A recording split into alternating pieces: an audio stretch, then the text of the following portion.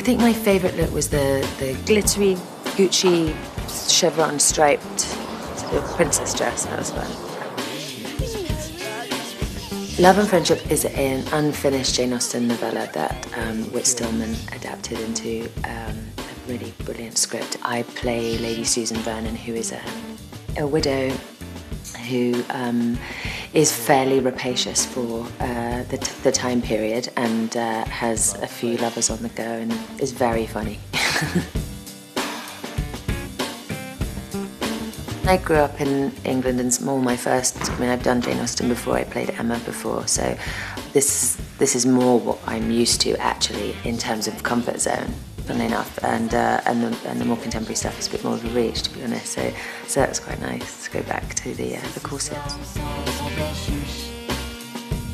Yeah, I mean, you know, the nice thing about when you're doing um, like a literary adaptation is that, you know, there's often, you know, obviously somebody's had to, in this case, Whit has had to choose parts of the, novella and, and, make it into a script, but, but having kind of abundant source material and sort of extra bits and all that is, is such a nice thing to have. And then, you know, don't eat a big lunch if you're going to put a corset on, is my advice.